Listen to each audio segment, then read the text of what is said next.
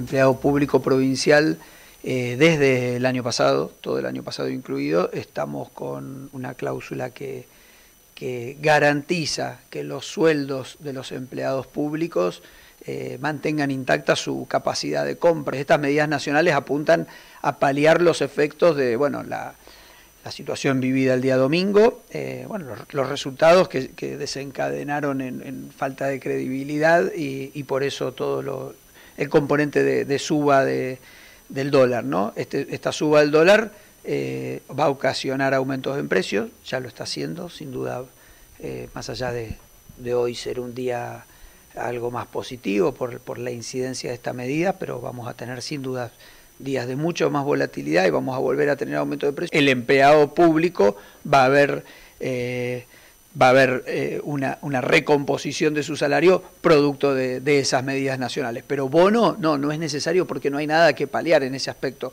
el, el, empleado público está teniendo su salario eh, absolutamente intacto a cualquier impacto inflacionario. En general, ¿usted qué opina de estas medidas de Macri lanzadas antes de la elección general? Y son absolutamente necesarias, ¿no? A ver, vamos a...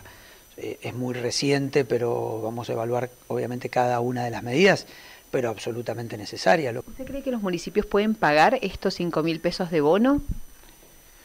Nuevamente, yo eh, te voy a opinar sobre la provincia, pero independientemente del puede, no puede, hay eh, hay obligación de, eh, de, ver cómo se puede trabajar en los salarios, en los casos que esos salarios se vayan deteriorando. Bueno, acá estas medidas nacionales, en el caso del empleado público, van a realmente mejorar el sueldo. ¿Por qué digo realmente? Porque hoy el empleado público de nuestra provincia tiene la certeza que su capacidad de compra está intacta. Es la misma que tenía en diciembre del 2017. Ahora con, con esto que, con estas medidas de, los aportes patronales y del mínimo no imponible, eh, eh, por los aportes patronales en todos los casos va a crecer y en el caso de los mínimos imponibles aún va a crecer un poco más.